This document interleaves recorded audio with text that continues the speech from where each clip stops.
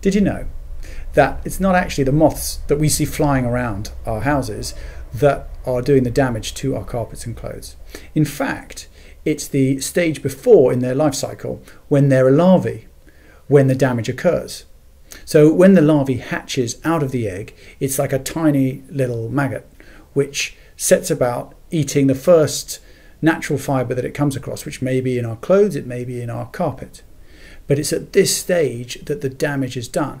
So when we do a treatment, it's really important that we find these places and deal with that as much as stop those moths that are flying around the house.